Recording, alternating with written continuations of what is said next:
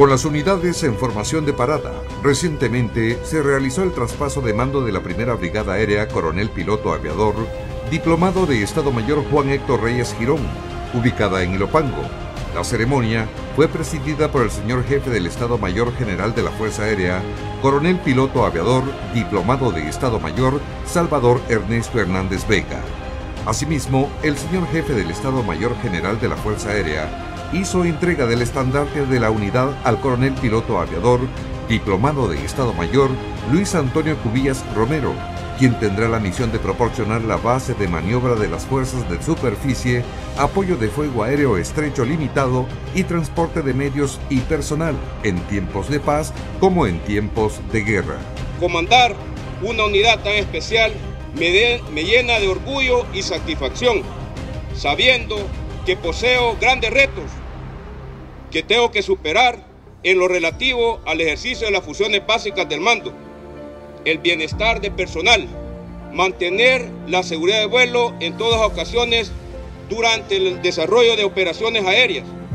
Vaya por ello mi compromiso se basará en esforzarme por buscar los mecanismos y procedimientos para cumplir la misión. Asimismo, juega un papel importante desarrollando misiones de reconocimiento, transporte de abastecimiento, evacuación de personal durante periodos de emergencia nacional y misiones de vuelo en apoyo a otras instituciones de gobierno. La actividad que acabamos de presenciar es el traspaso de mando de la primera brigada, de, la primera brigada aérea.